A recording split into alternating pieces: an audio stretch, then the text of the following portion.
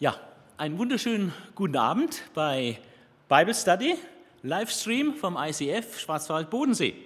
Ich freue mich, dass Sie, dass du dabei bist und äh, vielleicht auch später dann den Podcast zu einem späteren Zeitpunkt anschaust, aber vor allem jetzt auch die im Livestream.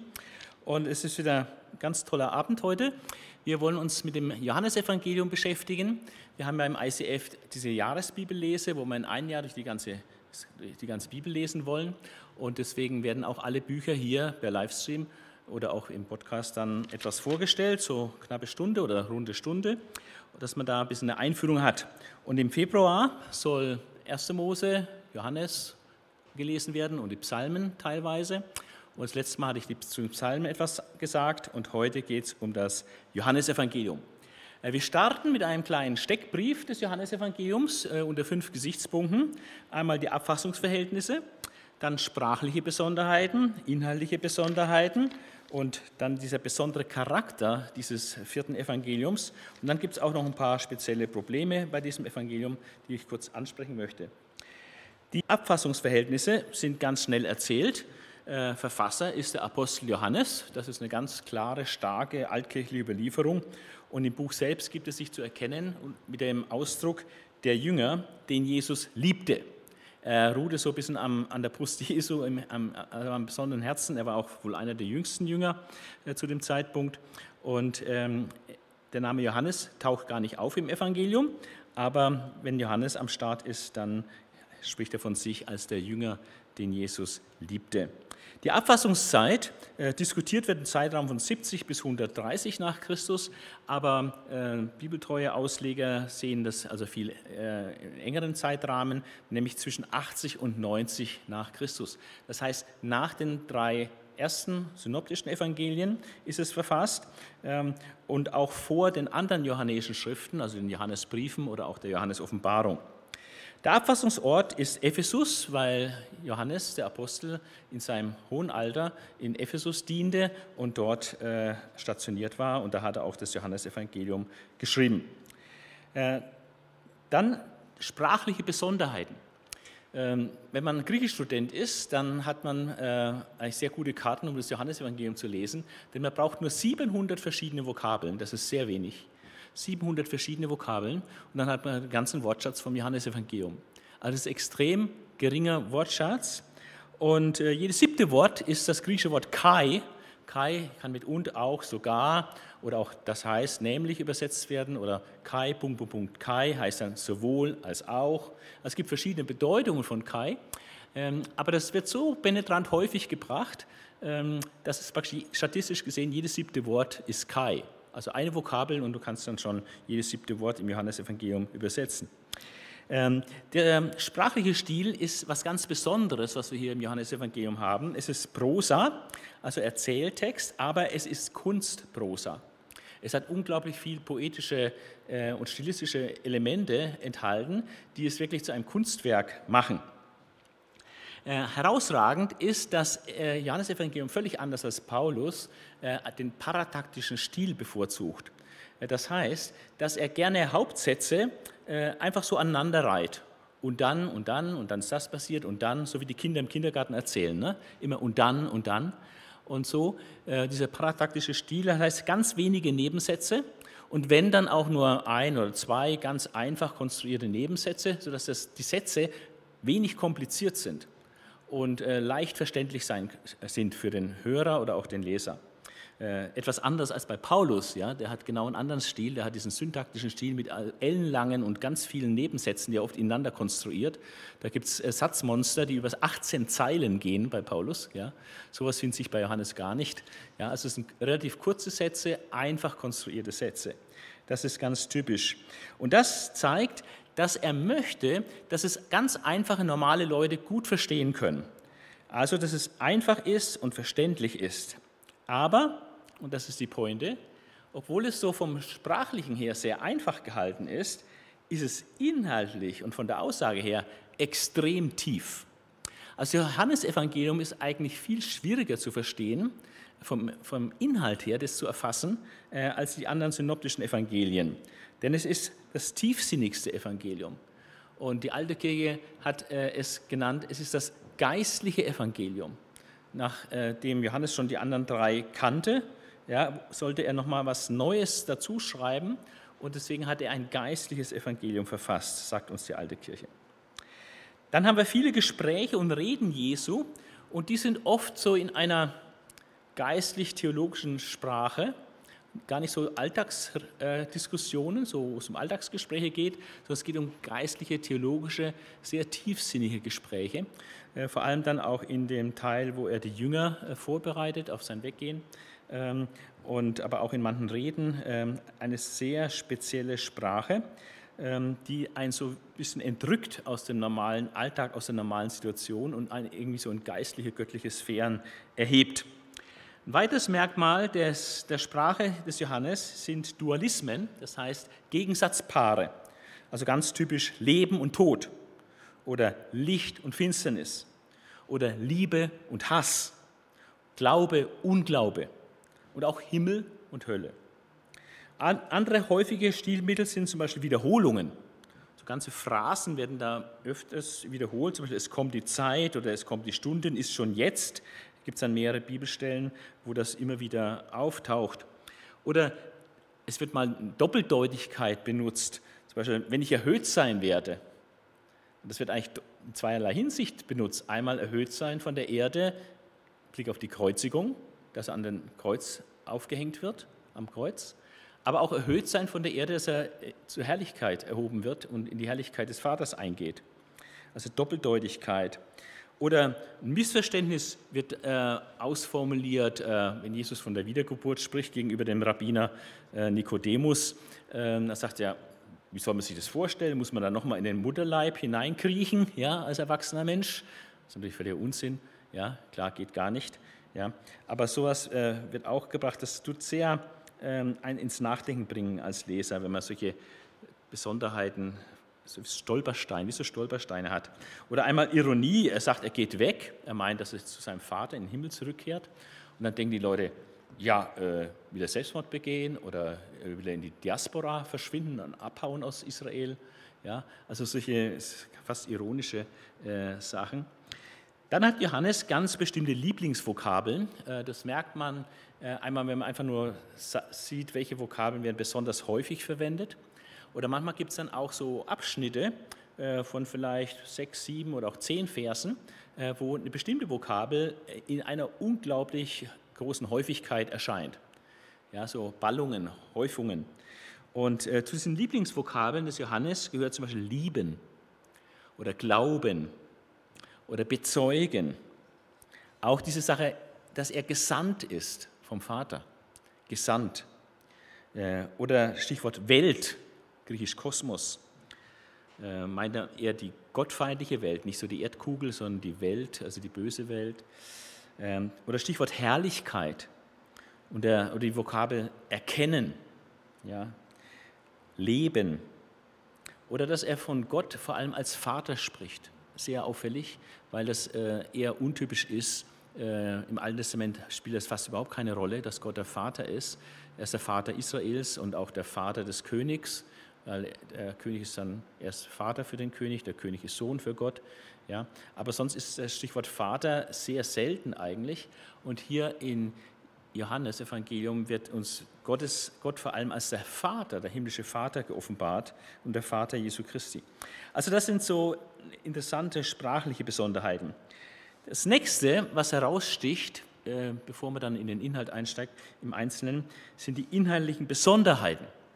Das Johannesevangelium hat sage und schreibe 90 Prozent Sondergut. Das heißt, 90 Prozent von diesen 21 Kapiteln finden sich in den anderen drei Evangelien überhaupt nicht. Also das heißt, er bietet praktisch maximale Ergänzung der Synoptiker. Ganze 10 Prozent findet sich dann auch irgendwo verstreut äh, in den anderen Evangelien. Das sind ein paar bestimmte Wunder, die er tut und natürlich im Teilbereich dann von äh, Kreuzigung, Auferstehung, Gefangennahme. Da gibt es Überschneidungen. Aber sonst gibt es extrem wenig Überschneidung zu den anderen Evangelien. Er wollte einfach Zusatzinformation bringen. Und das entspricht genau dem Zeugnis, das der Kirchenvater Clemens von Alexandrian äh, geäußert hat. Der hat von 150 bis etwa 216 nach Christus gelebt. Und ähm, Clemens von Alexandria bezeugt uns, dass Johannes sein Evangelium mit der Absicht schrieb, die bereits vorhandenen drei Evangelien einfach auch zu ergänzen. Eine weitere Besonderheit ist, dass äh, Johannes drei Hauptbetonungen setzt. Es geht also um drei zentrale Wahrheiten, die er in seinem Evangelium rüberbringen will und transportieren will. Einmal die Gottheit Christi, dass der Christus wirklich Gott ist. Er ist das präexistente Wort Gottes. Das griechische Wort dazu ist Logos, ein ganz spezieller jüdischer äh, Begriff, wo ganz viel dahinter steckt. Ähm, und dass er auch eine Rolle gespielt hat bei der Weltschöpfung. Also der Christus als der Logos und der, der wirklich auch Gott ist, die Gottheit Christi. Dann das andere große Thema im Johannesevangelium ist die Erlösung durch Jesus Christus. Dass er dafür sorgt, dass Menschen erlöst und gerettet werden können. Und das dritte große Thema, was mit der Erlösung dann auch zusammenhängt, ist, dass man diese Erlösung nur aneignen kann durch den persönlichen Glauben. Also dass der Glaube absolut notwendig ist, äh, um sich die Erlösung anzueignen. In Kapitel 20 des Johannesevangeliums finden wir in, einem, in zwei Versen äh, geballt drei ganz zentrale Begriffe des Evangeliums. Da kommt der Begriff Zeichen vor, Leben und Glauben. Ja, das spielt noch, äh, diese Begriffe spielen eine große Rolle im Johannesevangelium. Die Hauptbotschaft finden wir eigentlich in Johannes 20, Vers 1, wo es heißt, Jesus ist der Christus, der Sohn Gottes. Also Jesus ist der Messias, der Sohn Gottes. Das ist die Hauptbotschaft. Ähm, was auch stark betont wird, ähm, und deswegen haben manche den, einen äh, Johannes-Kommentar sogar äh, mit den Titel versehen, der Gesandte des Vaters. Äh, dass Jesus vom Vater gesandt wurde und dass er der Gesandte des Vaters ist, das wird so penetrant äh, wiederholt und immer und immer und immer wieder darauf rumgeritten, dass es auch der Letzte kapiert. Ja? Dass Jesus nicht in seinem eigenen Namen kommt, sondern dass er vom Vater im Himmel gesandt wurde. Und da muss man wissen, äh, dass es da ein wichtiges jüdisches Prinzip gibt zu diesem Thema Sendung, nämlich das Prinzip lautet, der Gesandte ist wie der Sendende. Also so wie ich dem Gesandten begegne, so begegne ich eigentlich dem Sendenden. Also wenn ich Jesus liebevoll begegne und äh, glaubensvoll begegne, dann begegne ich damit dem, der ihn gesandt hat, nämlich Gott den Vater, liebevoll und glaubensvoll. Aber wenn ich Jesus feindlich begegne und ihn hasse, ihn ablehne, was im Johannesevangelium ein starkes Thema ist, dann lehne ich nicht nur Jesus ab, den Gesandten, sondern ich lehne den ab, der ihn gesandt hat, nämlich den Vater. Und das ist eigentlich die große Tragödie, dass die Juden, die sich ja auf den, die an den Vater im Himmel glauben und sein Volk sind, äh, dass sie sich an diesem Gesandten, den der Vater gesandt hat, Jesus, so dermaßen stoßen und gestoßen haben, dass sie ihn nicht erkannt haben als den, der ist, der Messias und der Sohn Gottes, und haben ihn verachtet, haben ihn verworfen, haben ihn schließlich umgebracht, ja, die Oberen. Und, äh, und der Gesandte ist wie der Sendende. Das, was man mit dem Gesandten tut, tut man eigentlich dem Sendenden. Gibt es ein Art interessantes Beispiel, wo einmal Gesandte von David äh, praktisch völlig misshandelt werden und äh, entehrt werden. Man tut ihnen die Kleider abschneiden und die Bärte abrasieren und so und schickt es wieder heim zu David. Und das hat David natürlich überhaupt nicht gefallen, weil es war praktisch eine Ohrfeige gegen David. Und es hat, glaube ich, dann auch äh, Krieg äh, gegeben äh, gegen den Urheber dieser Demütigung und dieser Entehrung. Also wie der Gesandte, der Gesandte ist wie der Sendende. Ja. Und so wie man Jesus begegnet, so begegnet man praktisch dem, der ihn gesandt hat, nämlich Gott. Ein weiteres Thema, das Thema der Errettung, zeigt sich äh, vor allem im, Ein, Ein, im Prolog, dann also dem Einstieg des Johannesevangeliums und in ganz, ganz vielen Versen, äh, die ich hier aufgelistet habe, äh, kann man das sehen, wie das Thema Errettung immer wieder eine Rolle spielt, genauso wie auch die Notwendigkeit des Glaubens ganz häufig äh, betont wird, gibt es viele, viele Stellen, wo das immer wieder äh, durchkommt und auch gleich beim Start des Evangeliums allein viermal im Johannesprolog in den ersten 18 Versen wird viermal von der Notwendigkeit des persönlichen Glaubens an Jesus äh, hingewiesen. Dann eine starke Besonderheit innerlicher Art des Johannesevangeliums ist, dass er acht Wunder berichtet. Eigentlich nur acht. Die anderen Evangelisten haben durchaus mehr Wunder äh, zu bezeugen, gerade bei den Heilungen und so. Ähm, aber Johannes berichtet acht Wunder und die nennt er aber nicht Wunder, sondern die nennt er Zeichen. Ähm, warum werden sie Zeichen genannt? Weil sie auf etwas hinweisen sollen. Sie, so, sie lassen nämlich die Gottheit Jesu aufleuchten. Also dadurch, dass Jesus in seinem eigenen Namen praktisch diese Wunder tut, zeigt er und demonstriert er, dass er Gott ist. Und seine Identität als Sohn Gottes wird dadurch deutlich. Und ähm, dann kann man auch noch schauen, welche Art von Zeichen macht er denn. Da sieht man, dass er in ganz verschiedenen Bereichen da Wunder wirkt. Und, und all, jede, jede, jedes einzelne Wunder gibt einen bestimmten Aspekt äh, vom, von der Sendung, vom Dienst Jesu oder von seinem Wesen wieder und gibt einen gewissen, gewissen Aufschluss, wer eigentlich Jesus ist. Wir werden das dann noch sehen bei diesen acht Zeichen. Interessant ist, dass der jüdische Historiker Josephus auch den Begriff Zeichen, äh, griechisch Semaion, verwendet und äh, in einem ganz bestimmten Sinn. Und das war praktisch im ersten Jahrhundert dann so bekannt, wie Josephus, ein ganz berühmter jüdischer Historiker, äh, das verwendet hat. Und als Johannes dann das Evangelium schrieb, da hat dieser Begriff Zeichen schon in gewisser Weise diese Bedeutung. Bei Josephus hat das Wort Zeichen, äh, ist bei Josephus eine Manifestation der Gegenwart Gottes. Und wenn man das praktisch als äh, Hintergrund voraussetzt, dass es so praktisch bekannt war in der damaligen Gesellschaft, und dann schreibt Johannes sein Evangelium und nennt die Wunder Jesu Zeichen. Also im Sinne von Josephus praktisch Manifestationen der Gegenwart Gottes. Da, wo Jesus dieses Zeichen wirkt, ist Gott gegenwärtig, nämlich in Jesus Christus. Die Zeichen sollen äh, ja, etwas bewirken. Äh, die Zeichen in Ägypten sollten bewirken, äh, dass das Volk zur Erkenntnis geführt wird, dass Gott Jahwe der Herr ist und Gott ist.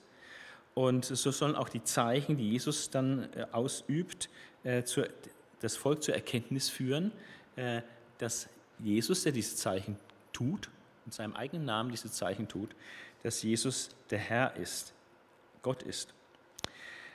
Neben diesen acht Wundern, die Zeichen genannt werden, haben wir dann noch sieben Ich Bin-Worte, äh, die einzigartig sind im Johannesevangelium. Und sie knüpfen an, das muss man wissen, bei den Ich Bin-Worten, das hat einen Hintergrund vom Alten Testament, nämlich als Jahwe, der Gott Israels, sich Mose offenbart. Und da geht es um die Frage, wie soll ich dich da bekannt machen im Volk, wie, wie heißt du, wie soll ich dich nennen? Und da offenbart sich Jahwe, Gott, als der Ich Bin ich bin, der ich bin oder der Seiende. Ja? Ähm, man kann es auch übersetzen, derjenige, der, als der ich mich erweisen werde. Ja? Und ähm, ein Jude hat es eigentlich sofort verstanden. Wenn Jesus sagt, ich bin, hat ein Jude damals sofort diese Anspielung an die Offenbarung, Selbstoffenbarung Jahwes bei Mose gedacht. Das hat er verknüpft. Das ist ganz klar die Parallele da. Und damit ähm, zeigt sich praktisch Jesus auch als Gott und Messias in diesen Ich bin worden. So wie Jahwe sich dem Mose mit Ich bin, der Seiende, äh, zu erkennen gibt, so gibt Jesus, tritt jetzt auf und sagt, ich bin. Der Charakter des Johannesevangeliums, der vierte Punkt bei diesem Steckbrief. Äh, die alte Kirche äh, hat klar Kenntnis davon, dass dieses Johannesevangelium das letzte der vier kanonischen, also biblischen Evangelien ist. Und es ist ganz bewusst im Gegensatz zu den ersten drei als ein geistliches Evangelium äh, gekennzeichnet worden. Nicht, dass das andere ungeistlich wäre, aber das andere ist eher so, sagen wir mal, materiell. Ja, einfach so, die Fakten werden da berichtet, also der, das Leben Jesu, seine Werke, seine Taten und so weiter. Aber hier haben wir viel mehr so die geistliche Interpretation. Wer ist eigentlich dieser Jesus? Und äh, die Reden, die er gehalten hat und so weiter. Also ein geistliches Evangelium. Äh, Rudolf Bultmann, äh, einer der, denke ich, einer der größten Verführer, theologischen Verführer und Irrlehrer des 20. Jahrhunderts, ein gefeierter Theologe natürlich, der viele Anhänger hatte, Bultmann-Schule begründete, ähm, aber in sehr vielen irrte und auch nicht an, die, an das stellvertretende Sühneopfer Jesu geglaubt hat, er hat nicht an die Wunder geglaubt, er hat nicht an die leibliche Auferstehung Jesu geglaubt, von daher auch nicht an die Wiederkunft Jesu geglaubt, also, aber Theologe, ja. Ähm, und er hat in der wichtigen ähm, Kommentarreihe, der griechisch-exegetische Kommentar zum Johannesevangelium, hat er verfasst. Und da ist sprachlich sehr viel zu lernen von ihm, aber geistlich-theologisch hat er etliche Böcke geschossen. Ähm, und Bultmann hat das Johannesevangelium aufgefasst als eine gnostische Verfälschung des Evangeliums. Das ist der Theologieprofessor Rudolf Bultmann, hat das Johannesevangelium als gnostische Verfälschung des, des Christentums äh, interpretiert, dass also hier äh, diese Leibfeindlichkeit und äh, Jesus ein nur begabter Mensch und so ähm, wurde alles verfälscht und es ist praktisch Irrlehre. In manchen Teilen Irrlehre, was wir im Johannesevangelium finden, nach Bultmann. Ich hatte dann mal als junger Student einer Vorlesung von Otto Michel beigewohnt, der war Judaist und einer der, äh, ein starker Gegner von Bultmann und hat ihn also zeitlebens immer wieder Paroli geboten. Und er hat auch äh, Bibelkommentare geschrieben, aber er war Judaist und er hat dann mal eine Vorlesung gehalten. Und da war er schon alt, 80 oder so. Und ähm, hat dann in seiner unnachahmlichen Art gesagt, das Johannesevangelium ist das jüdischste aller Evangelien. Also es war also echt äh, original, äh, der Otto Michel, ich schätze ihn außerordentlich, das jüdischste aller Evangelien. Und das stimmt. Also keine gnostische Verfälschung des Christentums, sondern das jüdischste aller Evangelien. Und wir sehen das an einer ganz starken Verflechtung zwischen Johannesevangelium und dem Alten Testament.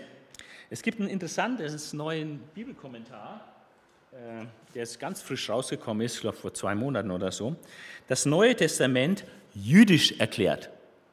Und das sind, äh, weiß ich, 25 oder mehr Autoren, äh, jüdische Autoren, nicht Juden Christen, sondern Juden, die nicht an Jesus glauben, die aus ihrer jüdisch nicht Jesusgläubigen Sicht das Neue Testament erklären. Und das ist hochinteressant. Natürlich äh, kann man nicht mit allem übereinstimmen, was sie sagen. Ja? Sie erkennen ja Jesus nicht wirklich als Sohn Gottes an. Aber sie geben unheimlich viel Hintergrund, wie man das mit jüdischen Augen eigentlich sieht, was in, in, der, dem Neuen Testament steht. Und da kann man ganz, ganz viel lernen, haben sehr viele Exkurse, verschiedene Themen, ganz toll aufbereitet. Ist natürlich auch viel Bibelkritisches dabei. Also es ist durchaus mit großer Vorsicht zu genießen aber äh, prüft alles, das Gute behaltet. Man kann hier sehr, sehr viel lernen. Und ich habe auch manches noch gelernt, äh, was Sie zum Johannesevangelium schreiben, äh, hier äh, die Autor, der Autor, ähm, und habe das hier teilweise mit eingebaut. Also wir haben 16 direkte AT-Zitate im Johannesevangelium, das ist relativ wenig eigentlich. Ähm, nur drei davon aus der Septuaginta, also der griechischen Übersetzung des Alten Testaments, die anderen sind eher eigene Übersetzungen. Aber wir haben sehr viele Anspielungen äh, ans Alte Testament. Also bestimmt wesentlich mehr als 16 äh, noch Anspielungen, äh, die vom Alten Testament her dann erklärt werden können. Der ganze theologische Hintergrund ist voll das Alte Testament. Auch die Methoden der Bibelauslegung, die Jesus benutzt in seinen Reden oder wie er auch mit den Pharisäern, Schriftgelehrten argumentiert, erinnern an Zeitgenossen, zum Beispiel an Philo von Alexandrian. Da gibt es äh, interessante Parallele äh, in der Brotrede von Jesus und was Philo von Alexandrien äh, auch zum Essen des Manna und so weiter sagt. Ähm, und auch äh, mit Josephus gibt es Parallelen und auch wesentliche Parallelen zu den Schriftrollen am Toten Meer. Also Jesus ist da in diesem gleichen theologischen Klima unterwegs ähm, und da ist eben sehr viel jüdisches, jüdische Färbung mit drin. Ja, zum Beispiel in den Schriftrollen am Toten Meer, in dieser Gemeinderegel, da ist der Gegensatz zwischen Licht und Finsternis äh, ganz krass, Riesenthema.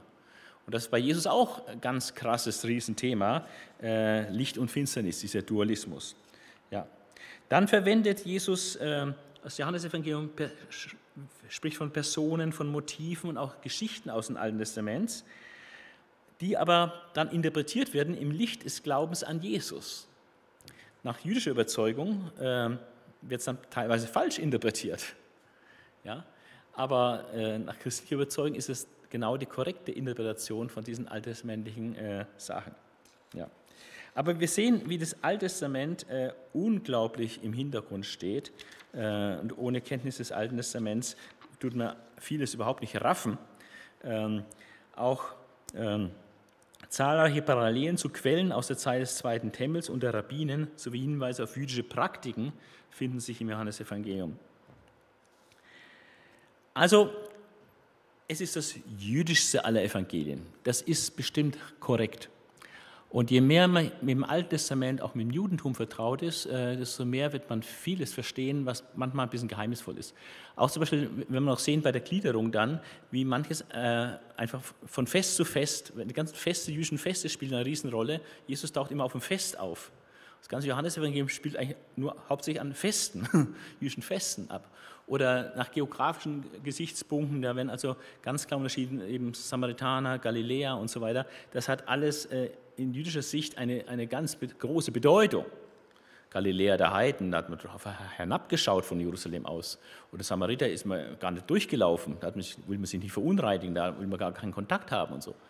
Und wenn dann finden dann im Johannesevangelium Sachen, was dann in Samarien geschieht, wo ein frommer Jude gar nicht den Fuß hingesetzt hätte, sondern lieber 20, 30 Kilometer Umweg macht, damit er da nicht durchlaufen muss.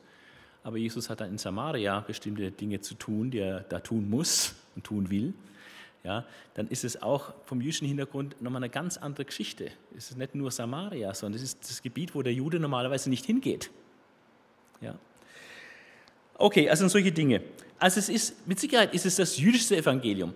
Ähm, aber in diesem Kommentar, das Neue Testament erklärt aus jüdischer Sicht, äh, wird auch gesagt, und oh, das ist interessant, äh, wie Juden das empfinden, äh, wird gesagt, es ist das antijüdischste der Evangelien.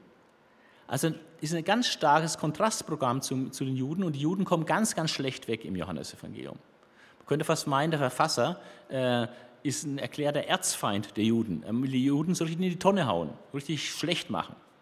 Und sie sagen, das stimmt ja auch nicht und das äh, wehren sich dagegen, wäre unberechtigt und das könnte man alles nicht so sagen, äh, was wir da im Johannesevangelium lesen. Das ist also völlig unberechtigt. Das Judentum war, Judentum war viel toleranter, hätte niemand aus der Synagoge ausgeschlossen, nur weil er an Jesus glaubt und so. Also sie wehren sich dagegen, fühlen sich total angepisst, praktisch auf Deutsch gesagt, durch das Johannesevangelium, weil sie da so schlecht wegkommen. Ja? Ich lese mal was vor, wie Juden das empfinden. Die Juden nach der Darstellung des Johannesevangeliums, sind die Erzfeinde Jesu und seine Jünger. Sie sind blind gegenüber der Wahrheit, verfolgen Jesus unnachgiebig und sind federführend in der Planung seines Todes. Wie sie sich gegenüber Jesus verhalten und wie sie dabei versagen, an ihn zu glauben, zeigt, dass sie ihr Bundesverhältnis mit dem Gott Israels aufgekündigt haben und stattdessen Kinder des Teufels sind. Schon harter Tobak, ja? Also, dass man da nicht so begeistert ist vom Johannesevangelium als Jude, kann man sich vorstellen. Ähm, das Problem ist nur, diese Beobachtungen sind völlig korrekt.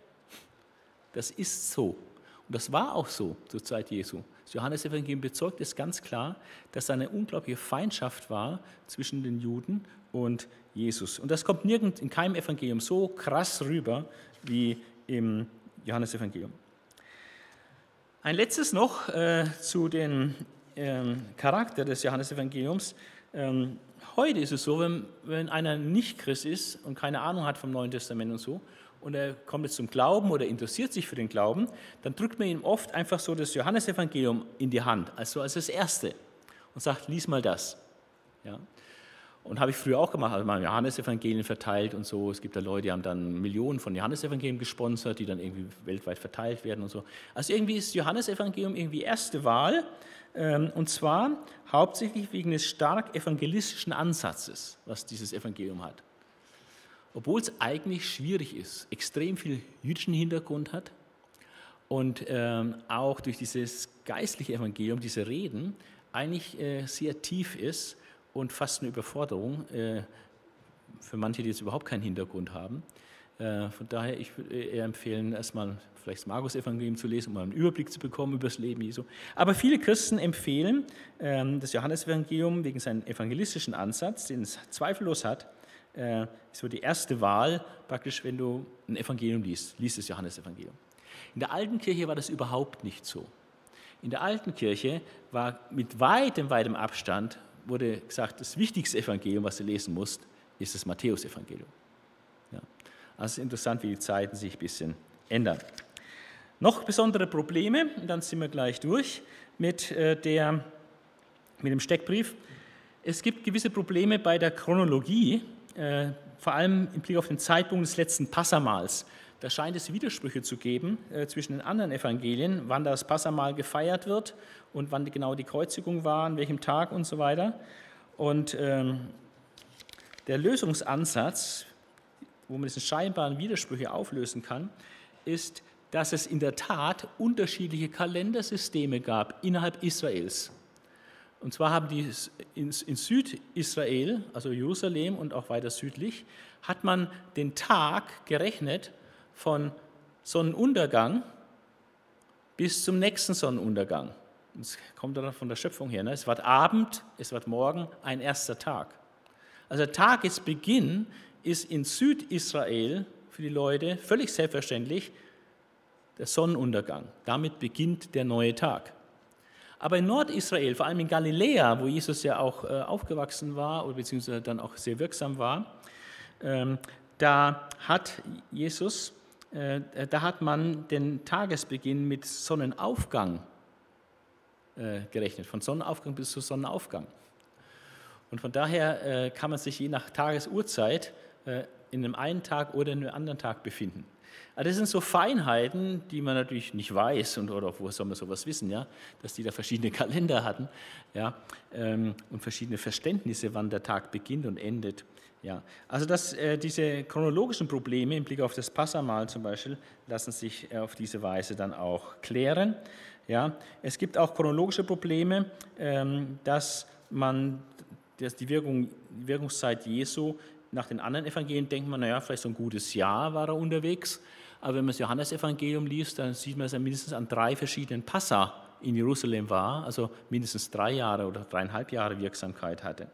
Also die Chronologie äh, klärt sich oder ist ein bisschen herausfordernd, das so auf die Reihe zu kriegen, aber es geht. Ähm, manche werfen im Johannesevangelium vor, ähm, dass es völlig intolerant ist und diesen exklusiven Wahrheitsanspruch äh, seiner Botschaft äh, behauptet, darauf beharrt. Und das wäre praktisch No-Go heutzutage, völlig äh, politisch inkorrekt, ja, so die absolute Wahrheit, ja, es gibt keine absolute Wahrheit, wir leben ja schließlich im Postmodernismus. Ähm, aber das ist tatsächlich so, was hier als Problem angesehen wird, ist einfach nur die, die Wahrheit und die Tatsache, dass es einfach dieses Entweder-Oder nur gibt. Und dass Jesus sagt, ich bin der Weg, ich bin die Wahrheit und ich bin das Leben. Niemand kommt zum Vater als nur durch mich. Nicht durch Buddha, nicht durch Mohammed oder sonst was, nur durch mich. Also diese Intoleranz ähm, an dieser Stelle ist absolut beabsichtigt und geht auch nicht anders, weil die Wahrheit ist unteilbar und äh, damit muss man praktisch leben. Ja. Äh, und man kann gut damit leben, weil die Wahrheit wird sich durchsetzen und am Ende Sieg haben. Ein letztes Problem noch ähm, ist, dass es an zwei Abschnitten äh, Fragen gibt, ob das wirklich ursprünglich zum, äh, zur Bibel, zu dem Johannesevangelium eigentlich ursprünglich dazugehört. Die Erzählung von der Ehebrecherin wird von manchen als späterer Nachtrag oder Einschub angesehen, nicht ursprünglich vom, vom Verfasser Johannes. Es äh, gibt dann verschiedene Begründungen dafür und Gegenargumente. Nur, dass man es mal gehört hat, äh, das ist eine Geschichte, die umstritten ist ob die wirklich ursprünglich ist. Ich persönlich halte sie für ursprünglich, aber manche äh, sind da anderer Ansicht. Und dann gibt es noch das Gleiche mit Johannes Kapitel 21, weil es ein bisschen anders ist vom Stil her und auch so vom Charakter her, äh, denken manche, das wäre ein späterer Nachtrag, der so ein späterer Anhang, der irgendwann später dazugekommen ist, ja, und auch nicht ursprünglich. Ähm, auch hier äh, denke ich, dass das falsch ist, dass man es durchaus äh, als Original äh, lesen kann und lesen sollte. Ja, aber dass man einfach mal weiß, diese zwei Texte werden äh, diskutiert. So, jetzt äh, schauen wir uns mal die Grobgliederung an. Genau. Jetzt kommen wir zur Grob Grobgliederung. Das Johannesevangelium äh, hat ähm, eine sehr klare Gliederung eigentlich. Und ähm, die habe ich jetzt bei, in der Bibel von äh, John MacArthur äh, gefunden, äh, wo ich mich recht gut, äh, die sehr, sehr gut fand, diese Klärung, auch was so die Feinklärung betrifft, äh, folge ich ihm da ziemlich stark, jetzt auch in diesen Ausführungen und äh, fand es sehr gut. Ich habe dann mal die Verse ausgerechnet, wie viele Verse das dann jeweils hat. Ähm, und ähm, wie viel Prozent eigentlich das dann am Gesamtevangelium ist.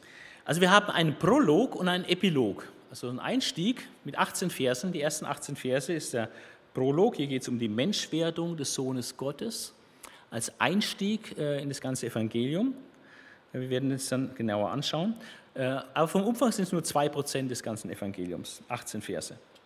Und dann gibt es einen Epilog ganz am Ende, so, so ein Schlusswort, zwei Verse nur, ähm, die Fülle der Worte und Taten des Sohnes Gottes, ja, dass alle Bücher der Welt es nicht fassen würden, wenn man es aufschreiben wollte, zwei Verse, nur 0,2 Prozent.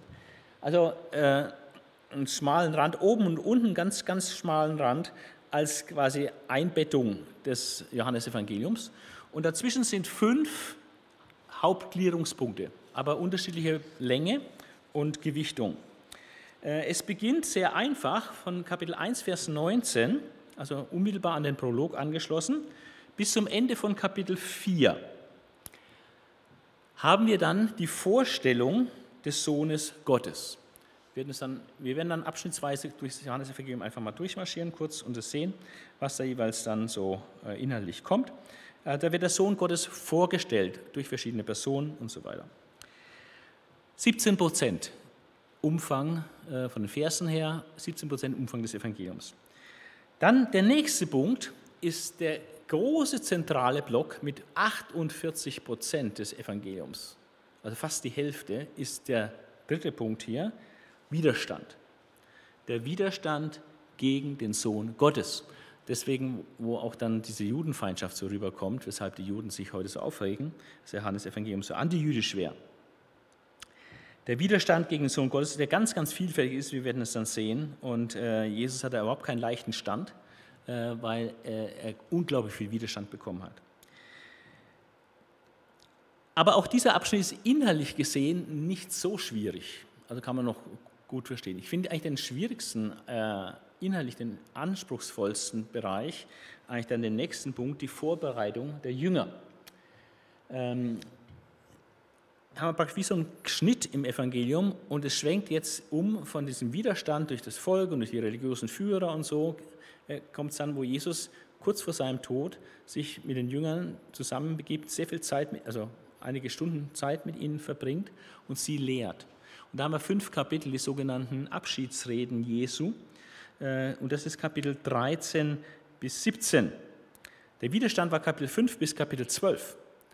48 Prozent. Jetzt haben wir Kapitel 13 bis Kapitel 17, das sind 182 Verse, 21 Prozent des Evangeliums. Und das ist eigentlich so geistlich, äh, hat ganz, ganz große Tiefe, äh, was da hier kommt, diese Jüngervorbereitung.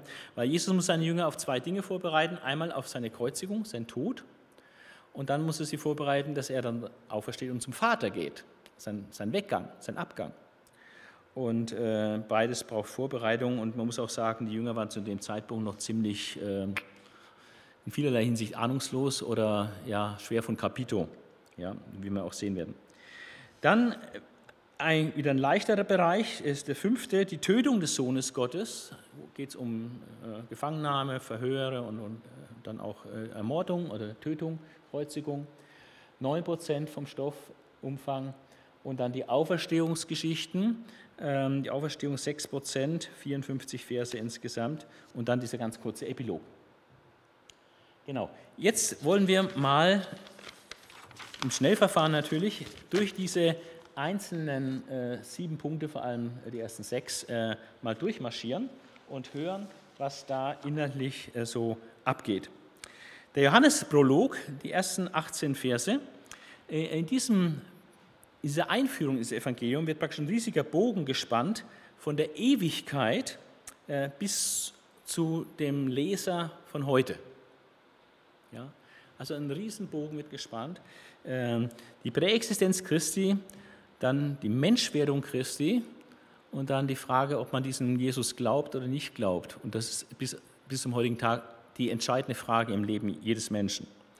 Und es ist äh, zum Zweiten ist dieser Johannesprolog auch ein faszinierender Blumenstrauß von theologischen Stichworten oder Schlagworten, die dann im weiteren Verlauf des Evangeliums äh, eine Rolle spielen. Und ähm, ich will mal kurz äh, zeigen, was inhaltlich einem da äh, begegnet. Kann man ganz kurz mal so runterfahren, Vers für Vers.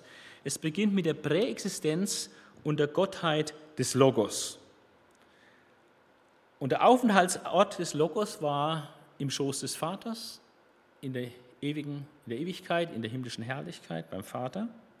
Und dieser Logos war, dieses Wort Gottes, Logos, war auch beteiligt bei der Weltschöpfung. Also, dass er eigentlich der Mittler war, durch den Gott die Welt geschaffen hat. Durch das Wort hat er es geschafft, durch den Logos, durch Christus. Und dieser Logos ist Leben und er ist auch Licht. Ja. Aber, und das ist die große Tragik, dann kommt äh, dieses, äh, Logos wird Mensch und äh, die Menschen, die eigentlich durch ihn geschaffen worden sind, die lehnen ihn als Licht ab. Das ist die große Tragik. Ja. Also er erleuchtet eigentlich jeden Menschen, der in die Welt kommt, und, aber die Menschen mehrheitlich lehnen das Licht ab. Dann geht es im Prolog weiter zum Johannes. Johannes war ein Gesandter Gottes und er war der letzte Prophet des Alten Bundes. Allerdings, das muss man wissen, äh, nach 400 Jahren Sendepause. Also es ist 400 Jahre her, dass ein Prophet in Israel aufgestanden war, nämlich Maleachi etwa 400 vor Christus. Und nach 400 Jahren Sendepause, wo, die Juden wussten, sagen, es ist eine Zeit, eine prophetenlose Zeit, Gott hat keinen Propheten mehr geschickt. Seit der Zeit, da kein Prophet mehr aufgestanden ist in Israel, so wird diese Zeit charakterisiert von den Juden. Und plötzlich taucht Johannes auf, äh, auch vom Outfit her schon wie ein Prophet, ja, wie ähnlich wie Elia und so, und äh, hält Bußpredigt und so weiter in der Wüste und äh, ist Anführer quasi von einer geistlichen Erneuerung, Erweckungsbewegung. Ja. Und der Inhalt und Zweck seines Zeugnisses wird in Vers 7 und 8 äh, genannt. Da heißt es, er kam, um als Zeuge auf das Licht hinzuweisen, nämlich auf Jesus, auf den Logos, der das Licht ist. Alle sollten durch ihn daran glauben, an dieses Licht glauben. Er war nicht selbst das Licht, was man vielleicht denken könnte, weil er ein toller Prediger war. Er sollte nur darauf hinweisen. Also äh, er war praktisch der Wegbereiter des menschgewordenen Gottessohnes. Dann kommt das, Logo, das Kommen des Logos und die Reaktion der Menschen in den Versen 9 bis 14 von diesem Prolog. Ähm, er kommt als Licht und Schöpfer für alle aber er wird abgelehnt durch die Welt und auch durch die Juden. Vers 10 und 11 sehen wir diese Ablehnung.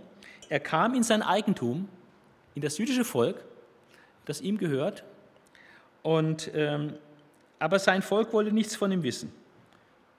Das ist die negative Seite. Aber es sind nicht alle, die nichts von ihm wissen wollen. Es gibt einige, die wollen doch was von ihm wissen. Vers 12.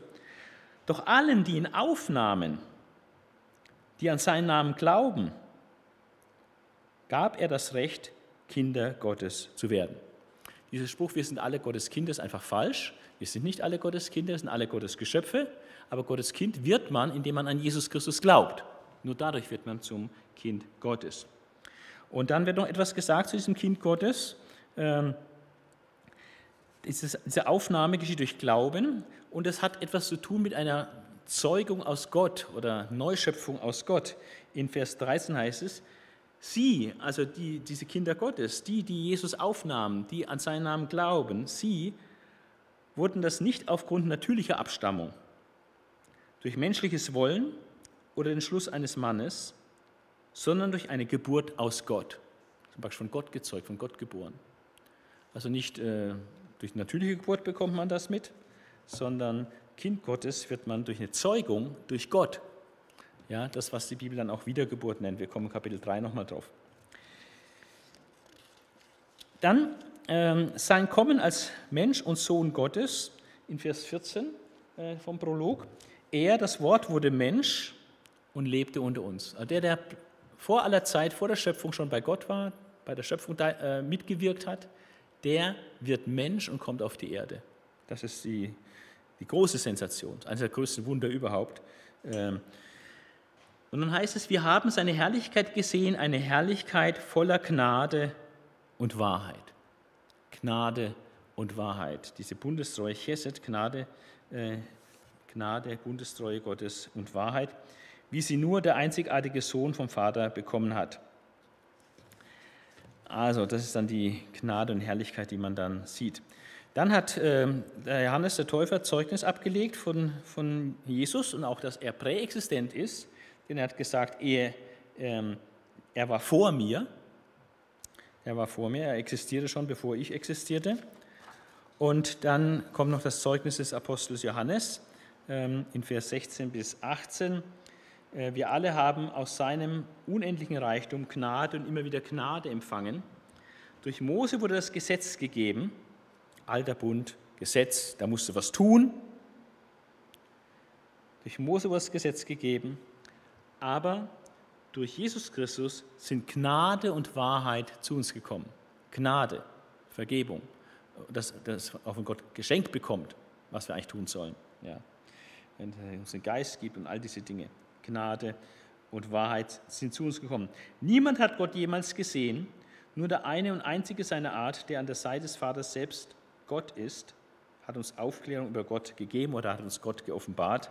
Also, wenn wir wissen wollen, wer und wie Gott ist, äh, Jesus ist der absolut Zuständige dafür, der uns das sagen kann, denn er war äh, an der Seite des Vaters.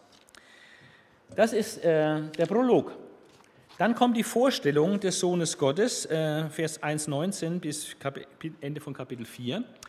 Und das ist nach Personen geordnet und nach geografischen Räumen geordnet, wie wir gleich sehen werden. Ähm, es ist sehr leicht verständlich, ich kann es ganz kurz machen, weil ich dann lieber andere Schwerpunkte setzen möchte.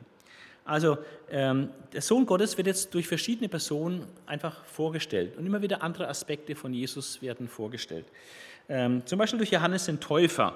Äh, Kapitel 1, Vers 19 bis 34, 16 Verse. Ähm, da sind die religiösen Führer bei Johannes dem Täufer und dann sieht er Jesus und sagt, siehe, das ist das Lamm Gottes, welches der Welt Sünde trägt. Also Jesus wird vorgestellt von Johannes äh, vor den Augen der religiösen Führer, dass Jesus das Lamm Gottes ist, welches die Sünde der Welt trägt. Oder bei der Taufe Jesu erfahren wir dann, dass Gott mit Johannes äh, was abgesprochen hat vorher, und zwar, dass da, wo er sieht, dass bei der Taufe, er hat ja viele Leute getauft, wo dann der Geist Gottes herabkommt wie eine Taube, dass das das Erkennungsmerkmal ist für die Person, die mit Heiligem Geist taufen wird. Ja. Also Jesus ist der, der mit Heiligem Geist tauft. So wird uns Jesus vorgestellt bei der Taufe des Johannes, äh, als Johannes in Jesus dann tauft. Also das ist die Vorstellung durch Johannes, das Lamm Gottes, das der Welt Sünde trägt und es ist derjenige, der mit Heiligem Geist tauft. Schon mal sehr wichtige Information. Dann vor den Johannes-Jüngern. Dann hat Jesus Kontakt mit einzelnen Johannes-Jüngern, ähm, die vorher eben bei dieser Erweckungsbewegung von Johannes mitgelaufen sind. Und ähm, da sagt Andreas und Petrus, äh, einer dem anderen, sagt, ich hab, wir haben den Messias gesehen, haben Messias gefunden. Also Jesus der Messias.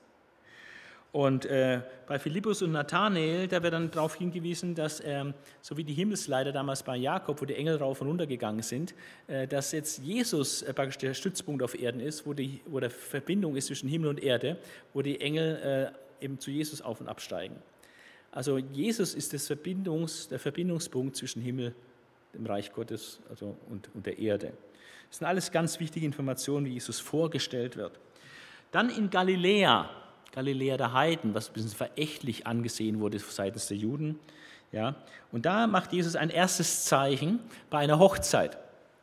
Diese Verwandlung von Wasser in Wein, ja, kennen wir alle. Und interessant ist, dass die Leute schon ein bisschen trunken waren, betrunken waren und trotzdem vermehrt Jesus noch das Wasser in Wein, weil es ausgegangen ist.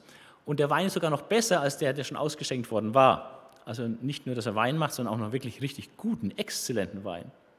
Also Jesus hat nichts gegen Freude und Feiern und auch nichts gegen Alkohol grundsätzlich, ja, äh, sondern ähm, er macht hier dieses erste Zeichen, indem er Wasser in sehr guten Wein verwandelt, um eine Hochzeitsfeier äh, einfach, dass sie einen weiteren guten Verlauf nimmt und nicht irgendwie ausgebremst wird durch Mangel an, an Wein. Und das ist Qualitätswunder. Das zeigt, dass Jesus die Qualität hat, also aus etwas ganz stinknormalen etwas ganz Hochwertiges zu machen. Also aus Wasser sehr guten Wein zu machen. Das ist das, was Jesus kann. Er kann Qualität extrem steigern. Ein erstes Qualitätswunder. Und das ist ein Wunder, was noch nie ein Mensch gemacht hat. Und es das heißt dann, dass die Jünger an ihn glaubten und er offenbarte seine Herrlichkeit dadurch. Aber es haben nicht die Hochzeitsgäste mitgekriegt. Die haben sich einfach nur gefreut, dass da ein bisschen mehr Wein da ist. Aber die Jünger haben es gecheckt und haben gesehen, wow, unser Jesus, dem wir da folgen, was der drauf hat. Ja. Erstes Zeichen. Dann gehen wir, kommen wir nach Judäa in Kapitel 2, Vers 13 bis am Ende von Kapitel 3. Und da äh, tritt Jesus auf, indem er den Tempel reinigt. Und da erinnern sich die Jünger später, dass es in der Bibel, in der Schrift heißt, der Eifer um dein Haus hat mich gefressen. Also Jesus ist der, der um das Haus Gottes eifert und es einfach hasst, dass aus diesem Haus Gottes, was ein Bethaus ist, so eine Räuberhöhle gemacht wird und ein Kaufhaus und Markt und, und äh, Geldmachgebäude gemacht wird. Ja. Das hat ihm gar nicht gefallen und hat die da rausgeschmissen. Dann haben wir äh, in Judäa eine hochinteressante Begegnung zwischen Jesus und einem interessierten Theologen, also einem Rabbiner, den Nikodemus, ein Gelehrter, ein Oberer in der Juden. Und äh, dort kommen sie in ein total interessantes Gespräch ähm, über die Errettung. Ja, einer der führenden Juden, ein Pharisäer namens Nikodemus, kam eines Nachts zu Jesus, also ein bisschen heimlich, er will nicht gesehen werden, aber will sich mit Jesus unterreden, er will einfach von ihm was selber hören und erfahren. Rabbi sagte er, wir alle wissen, dass du ein Lehrer bist, den Gott uns geschickt hat. Also er erkennt ihn als von Gott gesandt an. Warum? Denn deine Wunderzeichen beweisen, dass Gott mit dir ist. Also er hat es genau gecheckt, was die Wunder bewirken wollen, dass man sieht, Gott ist mit diesem Jesus. Ich versichere dir, erwidert Jesus, wenn jemand nicht von neuem geboren wird, kann er das Reich Gottes nicht einmal sehen. Man muss von neuem geboren werden. Das sagt es diesem theologischen Rabbiner, also diesem Theologen. Äh, du musst von neuem geboren werden, auch du. Deine ganze Theologie hilft nichts. Du brauchst eine neue Geburt. Und dann steht der, äh, der Nikodemus eigentlich auf dem Schlauch und sagt, äh, was meinst du damit? Wie, wie, kann das gehen? Ja, und sagt, ähm, wie kann ein Mensch denn geboren werden, wenn er schon alt ist? Ja, wandte Nikodemus ein. Er kann doch nicht wieder in den Bauch seiner Mutter zurückkehren und ein zweites Mal geboren werden. Also Neugeburt, also neue leibliche Geburt durch den Mutterleib und so. Äh, natürlich Unsinn, hat Jesus gar nicht gemeint. Ja, ich versichere dir, wieder Jesus, und bestätige es noch einmal. Wenn jemand nicht aus Wasser und Geist geboren wird, kann er nicht in das Reich Gottes kommen. Das ist ein absolutes No-Go. Du kannst nicht ins Reich Gottes kommen, es sei denn, du wirst aus Wasser und Geist geboren. Von daher ist es extrem wichtig zu wissen, was ist das, diese Geburt aus Wasser und Geist? Und habe ich die schon? Bin ich schon wiedergeboren? Also ich selbst war christlich, religiös, ich war in der Kirche engagiert, aber ich war noch nicht wiedergeboren. Ja, das, das es. Man kann da toller Mitarbeiter in der Kirche sein, aber noch nicht wiedergeboren sein. Aber wie wird man wiedergeboren? Aus Wasser und Geist. Und da gibt es jetzt fünf Meinungen dazu. Und äh, zwei sind akzeptabel, vielleicht auch drei, und zwei sind völliger Unsinn, aber die sind die, die am meisten geglaubt werden. Also die erste Frage ist, wenn Jesus vom Wasser spricht, meint er wirklich H2O, also Wasser. Und dann gibt es drei Möglichkeiten, wenn er wirklich Wasser meint. Das eine ist, dass sie sagen, äh, Wasser ist ein Bild für die natürliche Geburt. Denn wenn die Fruchtblase platzt, kommt da Wasser raus. Und so ist dieses aus Wasser und Geist, meint die natürliche Geburt, äh, plus die geistliche Geburt, eben die Wiedergeburt. Das ist das, was Jesus hier sagen will. Du musst zweimal geboren werden. Natürlich aus Wasser und Geist. Das ist die eine Möglichkeit zu verstehen. Das ist durchaus akzeptabel. Vielleicht nicht das Beste, aber es ist akzeptabel. Die andere ist, sie bringen das mit irgendeiner Taufe in Verbindung und sagen, es ist die Taufe des Johannes. Weil eine Johannestaufe steht ja für Buße. Also Jesus will sagen, du musst geboren werden aus Buße und Geist. Dann kannst du ins Reich Gottes kommen. Ähm, andere wieder, die interpretieren dann hier die christliche Taufe rein, obwohl Jesus eigentlich gegenüber Nikodemus ja gar nicht von der christlichen Taufe hat sprechen können, denn die, die gab ja noch gar keine Gemeinde Jesu, gab noch gar keine christliche Taufe. Eigentlich völliger Unsinn. Aber das ist das, was eigentlich so in den Großkirchen normalerweise angesehen wird. Aus durch Taufe und den Geist. Also, und deswegen wird dann auch diese Taufwiedergeburtslehre, dass man in der Taufe, in der Säuglingstaufe wiedergeboren wird. Das ist die offizielle Lehre der römisch-katholischen Kirche, ist auch die offizielle Lehre der lutherischen Kirche. Und dass an den Kindern zugesagt wird, den Säuglingen, jetzt bist du ein Glied am Leib Jesu durch die Taufe. Und du bist jetzt äh, ein Christ, du bist jetzt ein Kind Gottes, wird gesagt. Aber das ist äh, nicht korrekt, denn es braucht den persönlichen Glauben. Äh, manche sehen das dann nur so als einen Scheck, der dann irgendwie durch den persönlichen Glauben eingelöst werden muss. Aber Jesus meint hier sicherlich nicht die christliche Taufe und schon gar nicht die christliche Taufe von Säuglingen. Also was meint er dann? Eine zweite Möglichkeit ist, neben Wasser als H2O, also als buchstäbliches Wasser zu sehen oder als Bild eben für die Johannistaufe oder für die christliche Taufe, Wasser als ein Symbol zu nehmen für entweder das Wort Gottes oder als Symbol zu nehmen für den Geist Gottes. Beides ist äh, möglich, auch biblisch bezeugt. Das Wort als Wasser, Wasserbad im Wort und so. Oder ähm, Ströme lebendigen Wassers werden fließen, sagt er in Kapitel 8. Äh, meint er aber von dem Geist, der da kommen wird und so. Also Wasser kann tatsächlich als ein Bildwort sein für Geist oder ein Bildwort für das Wort Gottes. Und es das heißt ja auch im Petrusbrief, glaube ich, dass äh, wir wiedergeboren worden, nicht aus vergänglichem Samen, sondern aus unvergänglichem Samen, nämlich aus dem Wort Gottes. Das Wort Gottes ist definitiv notwendig, um wiedergeboren zu werden. Es ist bloß die Frage, ob Jesus hier meint, aus Wasser, sprich aus dem Wort Gottes und dem Geist. Das ist möglich, theologisch auf jeden Fall korrekt. Es ist die Frage nur, ob Jesus das hier wirklich meinte. Oder ob es äh, vielleicht noch besser ist zu sagen, Wasser ist hier ein Bildwort für den Geist Gottes, weil es auch an anderen Stellen im Johannesevangelium ein Bildwort für den Geist Gottes ist. Dann würde Jesus sagen, es sei es wird jemand wiedergeboren aus Wasser, nämlich aus Geist aus dem Heiligen Geist, sonst kann er nicht in das Reich Gottes kommen. Und das scheint durchaus vielleicht die beste Lösung hier zu sein, weil im weiteren Verlauf spricht Jesus nicht mehr von der Geburt aus dem Wasser, sondern nur von der Geburt aus dem Geist. Und das ist äh, dann sehr interessant, als es äh, nur noch um den Geist Gottes geht. Äh, es schließt sich dann in dieser Begegnung eine Predigt von Johannes dem Täufer an äh, über das ewige Leben den Glauben an Jesus. Dann kommen wir nach Samaria auch hier Vorstellung des Sohnes Gottes in Samaria. Da haben wir das Zeugnis von der samaritanischen Frau. Ähm, und da stellt sich Jesus vor als der, der das lebendige Wasser gibt und gibt sich dann ihr auch als Messias zu erkennen. Dann haben wir das Zeugnis vor den Jüngern, äh, dass er einfach immer beschäftigt ist, die Werke Gottes zu wirken, dass das Essen gar nicht so wichtig ist. Äh, wichtig ist, dass er es tut, was Gott ihm aufgetragen hat.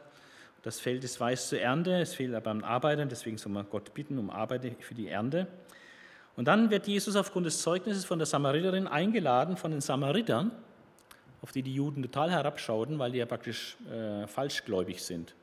Ja, die glauben verschiedene Dinge ganz anders als die Juden und die Samariter sind gar keine echten, richtigen Juden und äh, ist praktisch eine Konkurrenzveranstaltung. Und die haben auch ein Konkurrenzheiligtum, äh, nämlich auf dem Berg Garizim haben die ihr Heiligtum, nicht in Jerusalem im Tempel und so. Und äh, von daher sind die sehr verachtet und ein Jude, ein frommer Jude, der was auf sich hält, hat keine Gemeinschaft, keinen Kontakt mit Samaritern.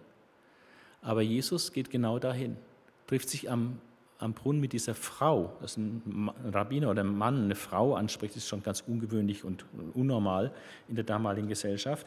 Dann ist es noch eine, eine Frau, die ja viele Männerprobleme hat, ja, viele, mit vielen Männern dann schon zusammen war, also eine ehebrecherische Frau sozusagen.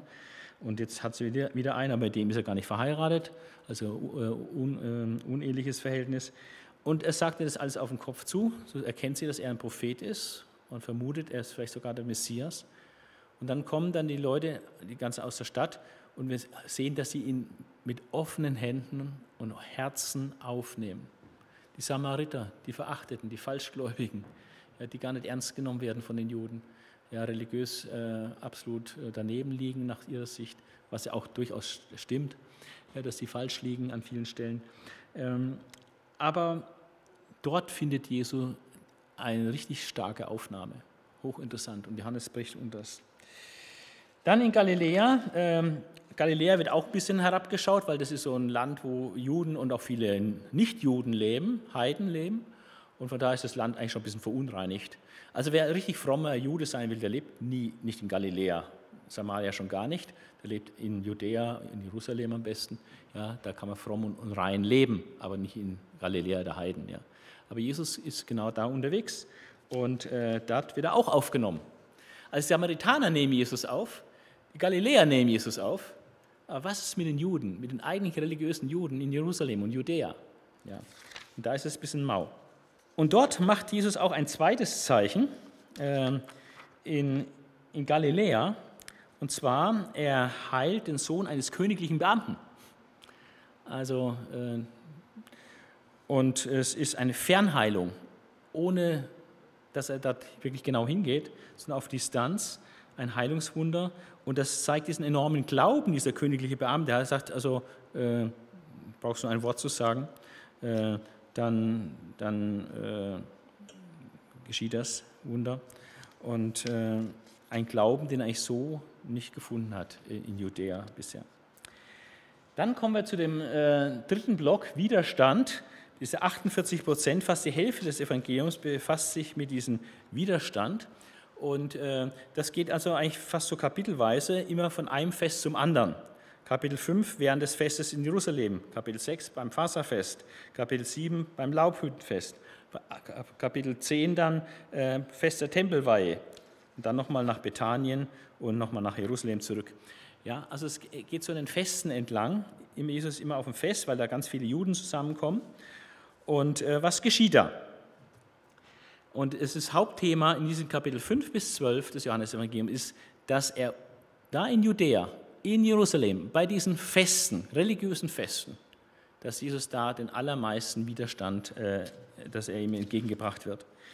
Zum Beispiel haben wir dort, es beginnt dann mit dieser Blitzheilung eines, eines Gelähmten, der 38 Jahre lang gelähmt war und der schlagartig geheilt wurde und dann rumspringt und es überall erzählt, dass Jesus ihn geheilt hat. Und äh, das hat natürlich viel Eindruck gemacht und die Menschen aufgewühlt und gedacht, ja, was ist da los? Ist der, ist der Messias da oder so?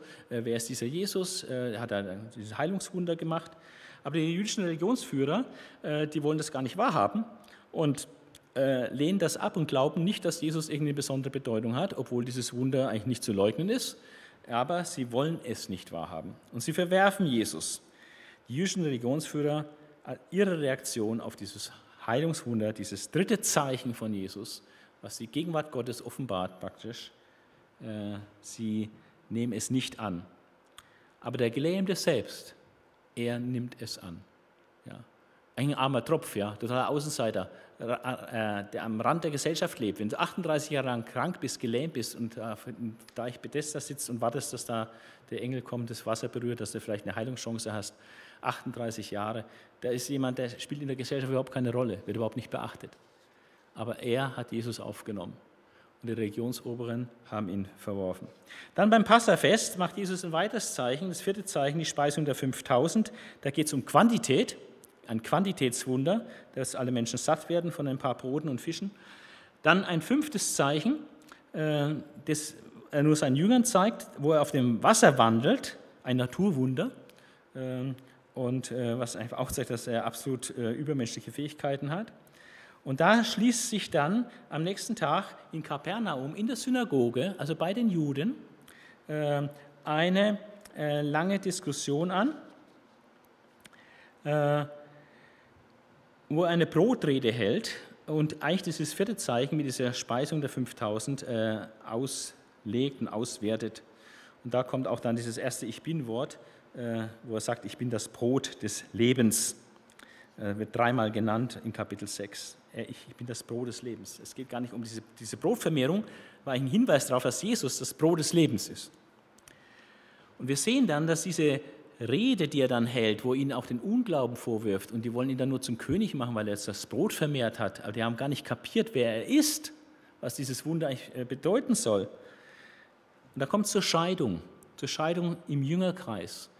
Also diese Tausende von Nachfolgern, die da waren, wo Jesus war und hingepilgert sind zu ihm, weil sie ihn hören wollten, plötzlich haben die das Interesse verloren.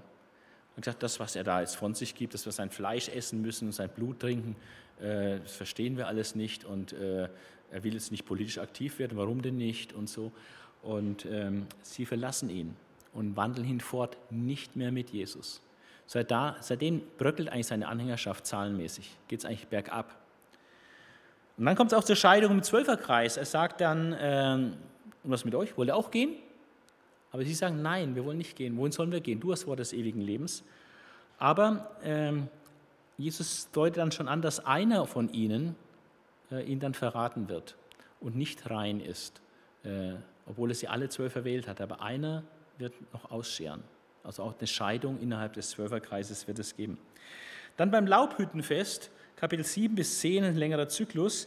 Äh, da sehen wir im Zusammenhang mit diesem Fest Kapitel 7 und Kapitel 8, äh, verschiedene Widerstände. Ich werde die einfach mal nennen, äh, was da alles an Widerstand da ist gegen Jesus. Also zunächst mal, die Jesu Brüder glaubten nicht an ihn. 7 Vers 6. Einige Juden sahen ihn als Volksverführer. 7 Vers 12. Manche Festtagsbesucher wollten sogar Hand an ihn legen und ihn irgendwie ergreifen und vielleicht irgendwie gefangen nehmen. 7 Vers 30. Trotzdem glaubten aber auch viele im Volk an Jesus. 7,31. Auf jeden Fall hat seinetwegen Zwietracht entstanden im Volk. Die einen waren für ihn, die anderen gegen ihn. Ja? 7,43. Die Religionsführer waren auf jeden Fall gegen ihn. Und die haben auch die Knechte äh, gerügt, die Jesus verhaften sollten und aber nicht gemacht haben und haben, die, äh, haben den Anpfiff verpasst. Er sagt, sei jetzt auch verführt worden von dem. Und es wird ganz klar gesagt, dass die Obersten des Volkes und die Pharisäer, dass die alle geschlossen eigentlich nicht an Jesus glaubten. Nur das einfache Volk, was keine Ahnung hat theologisch, die glauben, da, da gibt es welche. Aber, wir, die theologisch gebildet sind, wir glauben nicht. Ja, das kann nicht sein. Und der Nikodemus, das ist der, mit dem Jesus dieses theologische Gespräch hat wegen dieser Wiedergeburt, der ist da auch dabei und sagt, äh, aber nach unserem Gesetz muss man jemanden noch erstmal anhören. Also er sympathisiert mit Jesus, tut sich aber nicht ganz offen zu erkennen geben und dann wird, kriegt er auch noch einen Rüffel ab. Dann sehen wir als nächstes, dass die Schriftgelehrten Pharisäer Jesus eine Falle stellen, wie dieser Ehebrecherin, die in Flagranti ertappt worden ist. Und die wollen praktisch jetzt von Jesus hören, dass sie zum Tode zu verurteilen ist, womit Jesus aber dann Schwierigkeiten gegen die römische Besatzungsmacht bekommen würde. Also entweder ist er gesetzeskonform und kriegt Ärger mit der römischen Besatzungsmacht, oder er, er, wiegelt ab und will sie nicht zum Tode verurteilen, aber dann ist er, kriegt er ein Problem praktisch mit der, Mose, mit der Gesetzgebung bei Mose. Das ist eigentlich eine Falle, ihn theologisch da reinzulegen. Aber Jesus äh, geht wunderbar als Sieger daraus hervor, indem er sagt, wer ohne Sünde ist, werfe den ersten Stein. Dann hauen sie nach und nach alle ab, weil keiner ohne Sünde ist. Und dann bleibt er allein übrig. Und die Todesstrafe darf nach dem Gesetz ja nur durch zwei oder drei Zeugen festgestellt werden. Waren aber keine zwei oder drei Zeugen mehr da. Also lässt Jesus sie gehen. Also raffiniert, wie Jesus dieses, diese Falle umgeht oder löst. In, äh, danach äh, kommt ein zweites Ich Bin-Wort, äh, wo Jesus sich als das Licht der Welt zu erkennen äh, gibt. Ähm, beim Laubhüttenfest spielen dann solche Lichterzeremonien auch eine Rolle. Und dann lesen wir ein bisschen später, dass die Juden versuchten, Jesus zu töten. Kapitel 8, äh, wie sie das äh, versuchen. Und die Juden beschimpfen Jesus äh, und nennen ihn so abfällig, du bist ein Samariter. Das war ein Schimpfwort damals. Wenn man ihn beleidigen wollte, haben gesagt, du bist ein Samariter. Und dann haben sie noch einen draufgelegt und haben gesagt, und hast einen bösen Geist. Hast einen Dämon. Und ein, ein paar Verse weiter in Kapitel 8, Vers 59 wollen sie ihn sogar steinigen. Also wir sehen diesen enormen Widerstand äh, von allen verschiedenen Gruppen, äh, der Jesus hier entgegenkommt. Äh, also wurde das nicht begeistert aufgenommen. Dann geschieht das sechste Zeichen, was auch wieder große Wirkungen hat, die Heilung eines blindgeborenen Bettlers. Wieder so ein Außenseiter. Er war Bettler, hat sich schon kein Mensch mehr für ihn interessiert und dann noch blind geboren, deswegen war er auch Bettler. Aber also ein blinden Bettler, mit dem kannst du ja gar nichts anfangen. Ja? Der liegt praktisch der Gesellschaft nur äh, auf der Tasche, würde man so brutal sagen. Ja? Aber Jesus interessiert sich genau für solche Leute. Und äh, er hat dann dieses Heilungswunder äh, gemacht und es hat es noch nie gegeben, dass einer, der blind geboren war, wieder sehen konnte. Das gibt es in der ganzen Bibel nicht als, als, als Beispiel. Also Jesus tut Wunder, die noch nie jemand getan hat. Aber als Ergebnis von dieser Heilungswunder, anstatt dass die Oberen jetzt sagen, er hat den Gelähmten geheilt, Damals haben wir ihm immer noch nicht geglaubt. Aber jetzt hat er noch einen Blindgeborenen geheilt. Das sind schon zwei Zeugnisse, zwei Wunder. Aber sie entscheiden sich trotzdem, Jesus nicht zu vertrauen, nicht zu glauben. Also die Religionsführer setzen ihm starken Widerstand entgegen und viele vom Volk glaubten trotzdem an Jesus. Dann kommt das dritte Ich bin-Wort, ich bin die Tür zu den Schafen. Und das vierte Ich bin-Wort, ich bin der gute Hirte. Dann äh, haben wir Widerstand beim Fest der Tempelweihe, Widerstand in Bethanien wieder nach einem Zeichen von Jesus. Er macht ein Hammerzeichen, nämlich er weckt den Lazarus auf, der schon drei Tage im Grab liegt und schon Verwesungsgeruch hat. Er wird nach drei Tagen zum Leben erweckt. Ein, ein absolutes Wunder, was noch nie so geschehen ist. Und ihr sagt als fünftes, ich bin in dem Zusammenhang, ich bin die Auferstehung und das Leben. Also diese Auferweckung des Lazarus illustriert, dass er die Auferstehung ist und dass er das Leben ist. Aber jetzt haben die jüdischen Religionsführer äh, jetzt die Nase voll und sagen, jetzt reicht's, jetzt hilft nur noch eins, dieser Jesus muss weg und am besten auch gleich der, der Lazarus gleich mit, äh, der da auferweckt worden ist. Also sie beschließen offiziell, Jesus umzubringen. Das ist jetzt die, der Gipfel des Widerstandes. Und äh, dann haben wir nochmal zurück in Jerusalem, äh, von Bethanien sind bloß ein paar Kilometer zurück nach Jerusalem. Und da haben wir den triumphalen Einzug Jesu in Jerusalem, Kapitel 12, 12 bis 22. Und äh, Jesus äh, hält dann eine Rede, wo es über Glauben geht und er wirft den Juden vor, aber ihr glaubt nicht, sondern ihr habt mich verworfen, ihr wollt mich weghaben, ihr wollt mich töten. Ja. Das ist die, äh, dieser große Block, was etwa die Hälfte des Evangeliums ausmacht, von den Versen her, dieser Widerstand, der von den Juden besonders, äh, auch von den hochgestellten Juden, Religionsführern ganz besonders, aber auch vom Volk teilweise äh, ihm entgegengebracht wird. Dann kommen wir zu der wahrscheinlich tiefsinnigsten Abschnitt des Johannesevangeliums und ähm, das ist diese sogenannten Endzeitreden, wo Jesus die Jünger vorbereitet auf, die, äh, auf seine Kreuzigung und auch auf seinen Weggang zum Vater. Nachdem er drei Jahre mit ihnen jetzt gelebt hat, jeden Tag Gemeinschaft hatte, jetzt geht er für lange, lange, lange Zeit weg zum Vater und darauf muss er die Jünger vorbereiten. Und äh, vorher sind sie noch gar nicht vorbereitet. Und das fängt mit Kapitel 13 an. Und ähm, ich will jetzt zu jedem Kapitel ganz kurz ein paar Aspekte nur nennen, äh, die da besonders interessant oder wichtig sind. Und, äh, und dann sehr schnell zum Ende kommen, weil da bei der Tötung Jesu, Auferstehung, das ist ähnlich dann auch wie bei den anderen Evangelien. Das kann man dann äh, recht kurz machen. Aber hier bei der Vorbereitung der Jünger möchte ich noch ein paar Minuten darauf verwenden und das ist sehr, sehr wertvoll. Wir haben zwei äh, geografische Zusammenhänge. Einmal im Obersaal, Kapitel 13 bis 14. Und die Kapitel 15 bis 17, äh, die spielen sich dann ab auf dem Weg zum Garten Gethsemane. Also eine Zweiteilung. Und dort in diesem Obersaal beginnt es mit der Fußwaschung Jesus kündigt den Verrat äh, des Judas an und äh, er hält dann eine Rede vor seinen Jüngern über seinen Weggang, dass er weggeht zum Vater. Und äh, in dem Zusammenhang kommt auch das sechste Ich bin Wort, ich bin der Weg, die Wahrheit und das Leben. Aber wenn man Kapitel 13 reinschaut, dann muss man sagen, also diese zwölf Mann, die er sich da auserwählt hat, das war schon eine illustre Gesellschaft. Ja. Da waren also Typen dabei. Zu einem natürlich der Judas Ischariot, der spielt hier eine Rolle. Es war beim Abendessen, der Teufel hat den Sikarier Judas, also Judas Ischariot, schon zu dem Plan verleitet, Jesus zu verraten.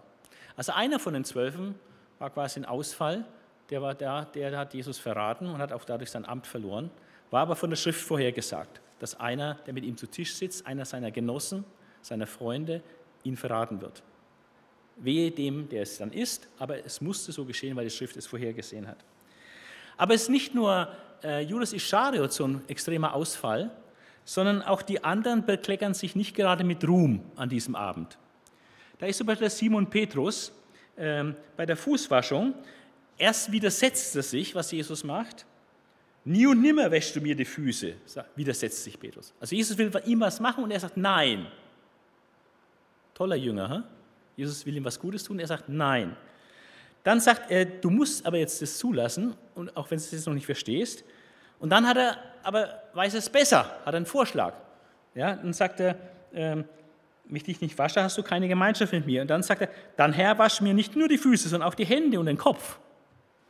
Also erst widersetzt er sich und dann hat er noch eine bessere Idee, einen Vorschlag, wie man es besser macht. Also wenn du Chef bist, dann kommt ein Lehrling und er hat ja einen Vorschlag, wie du es besser machst, das kommt nicht so gut an. Ja? Und das ist also auch nicht so super, wie der Petrus das hier macht. Ja? Ähm, und dann in dem gleichen Kapitel kommt der Petrus noch mal, fällt er nochmal unangenehm auf. Also nicht nur, dass er sich erst widersetzt, was Jesus tun will, dann weiß er es besser und macht Jesus Vorschriften, wie er es machen soll. Und dann überschätzt er sich noch hoffnungslos. Wo Jesus sagt, äh, äh, da wo ich hingehe, könnt ihr nicht hingehen. Und er sagt, äh, Herr, entgegnet Petrus, warum kann ich dir jetzt nicht folgen? Ich bin bereit, für dich zu sterben. Maul groß aufgerissen, schnell dabei. Jesus sagt, mach mal langsam, ja? Äh, dein Leben willst du für mich hingeben?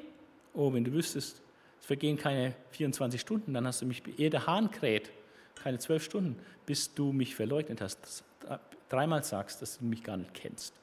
Aber du willst dein Leben für mich geben.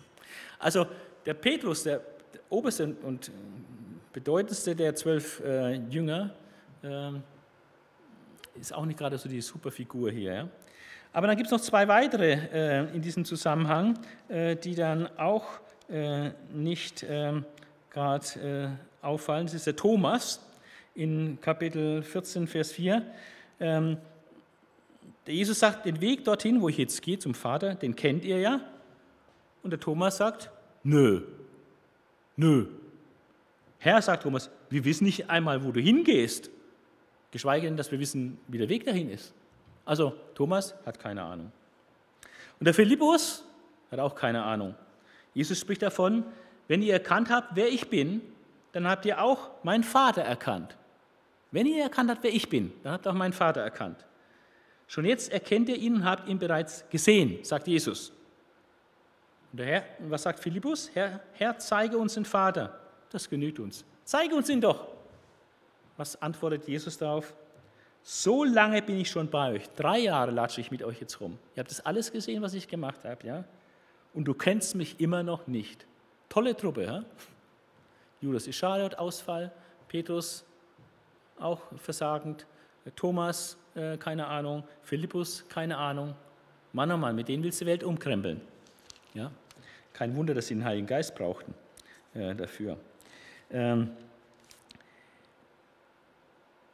Ich habe mir auch ein bisschen notiert, was Jesus in diesen Abschiedsreden Kapitel 13 und 14 eigentlich sagt, what to do.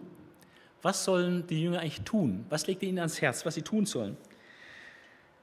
Äh, dann nehme ich einfach mal ein paar so Nuggets raus, äh, wo hier in den Kapiteln äh, steht, was, was er ihnen für einen Auftrag gibt. Zum Beispiel, weil er ihnen die Füße wäscht, eine Sklavenarbeit, dann seid auch ihr verpflichtet, euch gegenseitig die Füße zu waschen. Ich habe euch ein Beispiel gegeben, damit ihr genauso handelt. Also ihr sollt euch gegenseitig die untersten Dienstarbeiten tun. Das ist das, was ich von euch erwarte. Oder er sagt dann, ähm, ich gebe euch jetzt ein neues Gebot. Ohren auf, ein neues Gebot. Liebt einander. Genauso wie ich euch geliebt habe, sollt ihr einander lieben. Also die Welt sagt, wie du mir, so ich dir. Haust du mich, hau ich dich. Wie du mir, so ich dir. Die Christen müssen sagen, wie er mir, so ich dir. Wie er mich geliebt hat, so habe ich dich zu lieben. Ja, das ist äh, ein Gebot, oder? Oder in Kapitel 14, Vers 1, glaubt an Gott und glaubt auch an mich. Oder Kapitel äh, 14, Vers 12, wer mir vertraut und glaubt, wird auch solche Dinge tun, ja sogar noch größere Taten vollbringen als ich. Und alles, worum ihr dann in meinem Namen bittet, werde ich tun. Also wir sollen im Namen Jesu bitten. Was ihr also in meinem Namen erbittet, werde ich tun. Ein weiteres ist, wenn ihr mich liebt, werdet ihr meine Gebote befolgen. Oder wer meine Gebote kennt und sie befolgt, der liebt mich wirklich. Und nochmal ein paar Verse weiter unten, wenn jemand mich liebt, gab Jesus ihm zur Antwort, wird er sich nach meinem Wort richten. Das Wort. Also muss ich das Wort erst mal ein bisschen kennen, damit ich mich danach richten kann.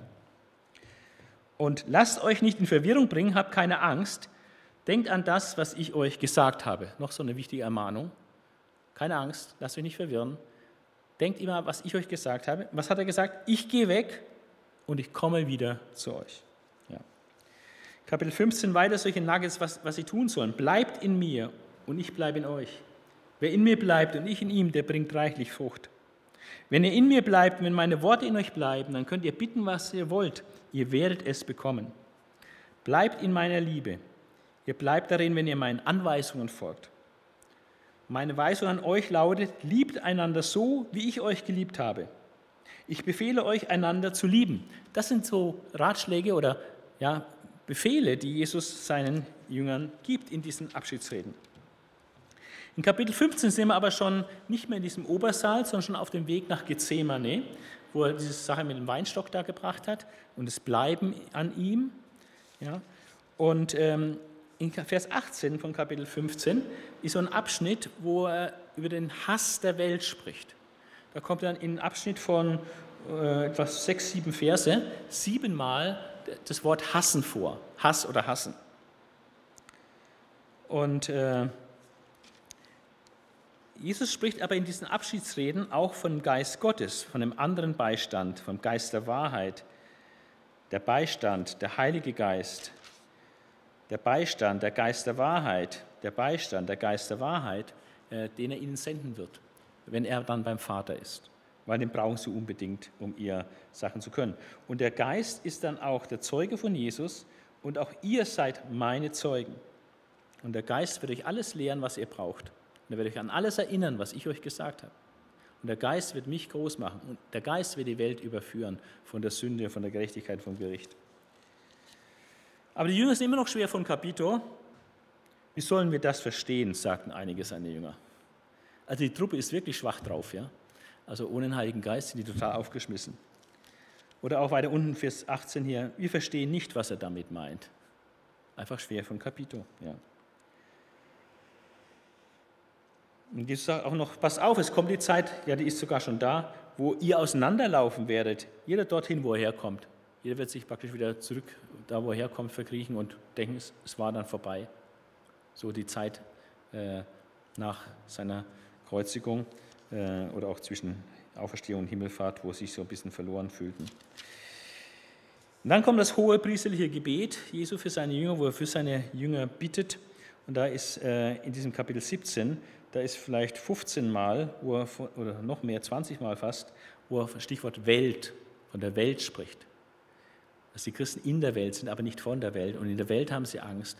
Und er bittet, dass sie bewahrt werden in der Welt, aber nicht von der Welt genommen werden und so weiter. Die Welt hasst sie und so weiter. Also das Thema Welt ist hier ein Riesenthema.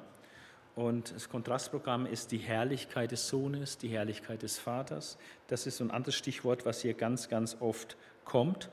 Ähm, und in dem Gebet, das Jesus für seine Jünger hat, ist das Hauptanliegen, das zentrale Anliegen in diesem Gebet für die Jünger, damit sie eins sind, wie Vater und Sohn eins sind.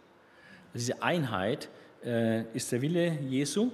Das ist, muss, geht nicht um eine organisatorische Einheit, die ist äh, völlig zweitrangig, äh, ist auch nicht möglich und nötig. Äh, es geht um die innere Einheit und das ist das, was man wirklich erleben kann. Du kommst irgendwo hin, in ein fremdes Land, triffst eine wildfremde Person, merkst, er ist Christ und du hast eine Beziehung, eine Einheit mit ihm. Hochspannend, ja. Ähm, okay, das war der Punkt, diese Jüngervorbereitung. Die ist total spannend zu lesen und weil hier Jünger vorbereitet werden auf die Zeit, wenn Jesus dann beim Vater ist, ist es auch für uns hochspannend, hochwichtig, äh, sich mit diesen Kapiteln zu befassen, äh, was es da braucht, was Jesus will für seine Jünger, äh, wenn er dann beim Vater ist.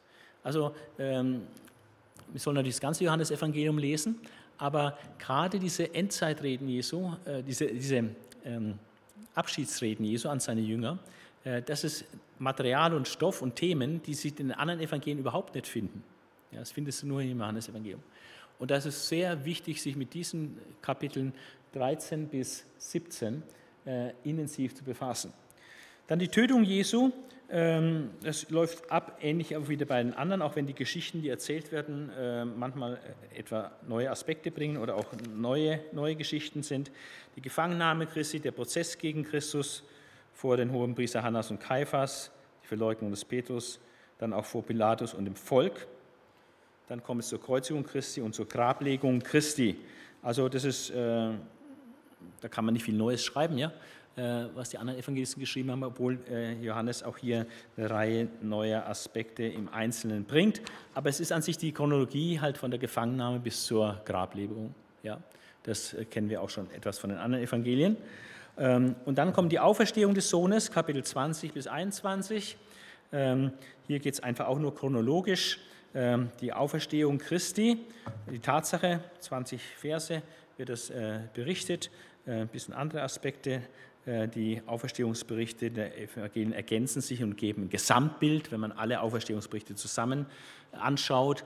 Die widersprechen sich auch nicht, auch wenn sie scheinbar sich widersprechen manchmal. Es sieht so aus, aber wenn man es genau untersucht, stellt man fest, das ist alles harmonisierbar. Man muss es nur richtig lesen und verstehen. Aber nicht nur die Auferstehung Christi, sondern was dann entscheidend ist, sind die Erscheinungen des Auferstanden. Und äh, das ist interessant noch, ähm, wem erscheint er? Als erstem erscheint Jesus einer Frau. Und das würde man eigentlich nicht erwarten, denn eine Frau, das Zeugnis einer Frau hat damals nichts gezählt. Also vor einem Gericht waren zum Beispiel Schafhirten nicht zugelassen, die galten als notorische Lügner. Und Frauen waren nicht zugelassen vor Gericht als Zeugen, weil da konnten wir sich nicht drauf verlassen, was Frauen sagten. Ja? Ist ungefähr, was ein Kind sagt. Was ein Kind sagt, was eine Frau sagt, das zählt nicht. Ein Mann muss es sagen. Ein bisschen eine andere Zeit als heute. Ja? Aber Jesus zeigt sich zuerst nicht dem Petrus, sondern einer Frau, der Maria Magdalena. Und das wird äh, in, in acht Versen verhandelt. Ähm, dann haben wir, dass Jesus sich den Jüngern zeigt, aber ist der Thomas nicht dabei. Der eine, der ein bisschen schwer von Capito war bei dem Abendessen da. Ähm, dann erscheint Jesus nochmal vor den Jüngern, wo der Thomas jetzt dabei ist und erteilt ihm und allen Jüngern eine riesige, wichtige Lektion und sagt, äh, weil der Thomas hat er gesagt, wenn ich es nicht mit eigenen Augen sehe, glaube ich es nicht. Dann erscheint Jesus und beschämt ihn. Er weiß das, was er gesagt hat. Und sagt, komm, hier, schau meine Nägelmale, leg deinen Finger rein. Glaubst du es jetzt? Ja, klar, glaubst du es jetzt. Du siehst es ja. Aber selig ist, wer nicht sieht und doch glaubt. Und das ist ganz wichtig, weil ähm, es ist nur ein ganz, ganz kleiner Personenkreis, der Jesus, den Auferstandenen, sehen konnte. Jesus war nur wenige Tage äh, nach seiner Auferstehung auf Erden, wo er erschienen ist, wo man ihn sehen konnte. Einmal haben wir ihn 500 auf einmal gesehen, aber das sind limitiert, das ist also bestimmt keine Zahl, die größer ist als 600 Menschen, die ihn gesehen haben und die waren alle ein paar Jahrzehnte später tot. Also wenn ich nur glaube an Jesus, wenn ich ihn als Auferstandenen gesehen habe, dann stirbt der Glaube ganz schnell aus. Deswegen ist es extrem wichtig zu sagen, äh, selig ist, wer glaubt, auch wenn er bestimmte Dinge nicht gesehen hat, sondern nur als das Zeugnis hört von denen, die das gesehen haben, von den Aposteln und von den anderen Zeugen der Auferstehung Jesu. Als selig, wer nicht sieht und trotzdem glaubt, ganz wichtig. Die Absicht des Evangeliums wird in Versen 20, äh, Vers, Kapitel 20, 30 bis 31 erklärt. Das Ziel des Evangeliums ist, den Glauben zu wecken äh, und dass die Menschen durch den Glauben das ewige Leben bekommen. Ich lese diese Verse, weil sie ganz wichtig sind.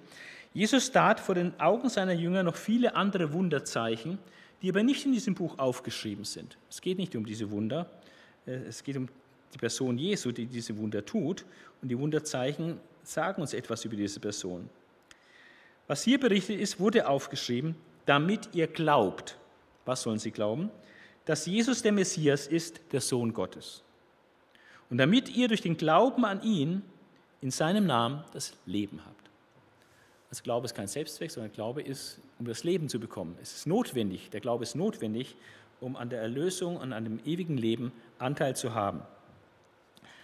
Und äh, dann erscheint Jesus nochmal vor den Jüngern in Kapitel 21, dort an diesem See, wo er auch mit Petrus noch ein bisschen was äh, zu verhackstücken hat, dass er eine besondere Beauftragung kriegt als Hirte.